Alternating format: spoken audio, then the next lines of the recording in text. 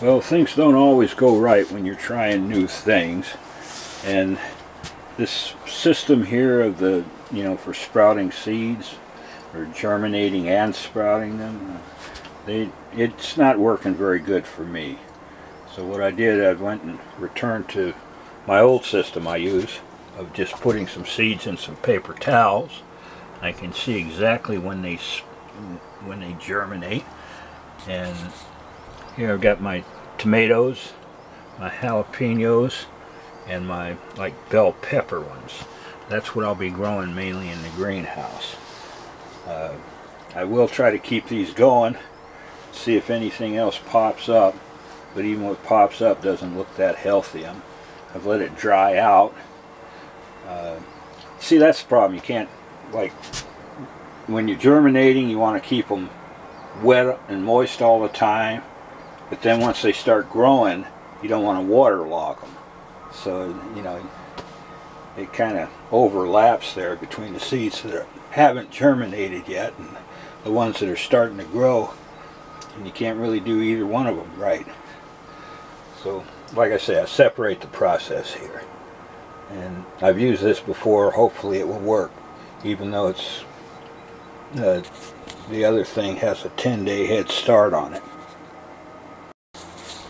I have managed to fill all my all my uh, pots here and just for general knowledge uh, one bag of that Pro Mix 60 pounds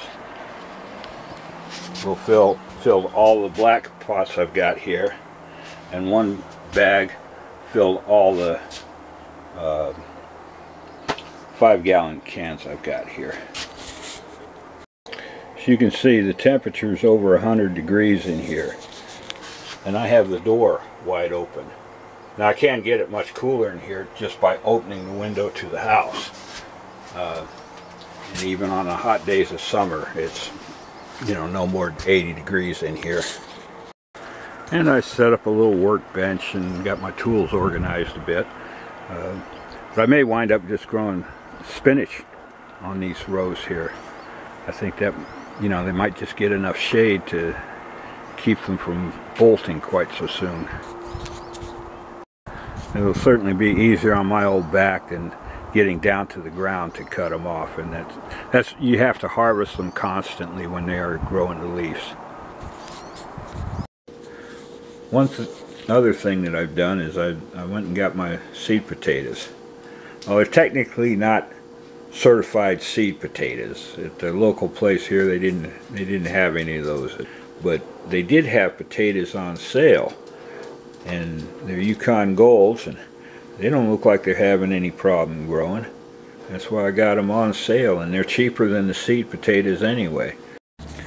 Well, now a lot of gardeners keep very good notes on when and how plants perform and that sort of thing. Me, I'm just going to take a video to keep track of these things. Dates I think are important, like today, the 10th, and I started those seeds again.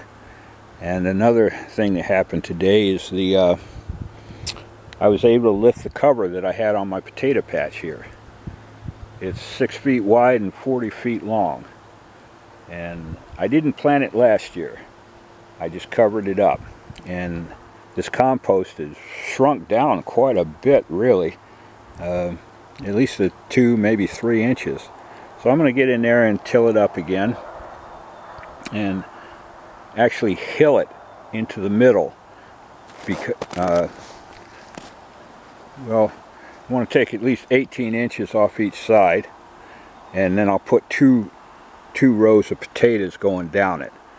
And this is kind of in anticipation of when I get more compost built and the way I'll set up the rows out back there.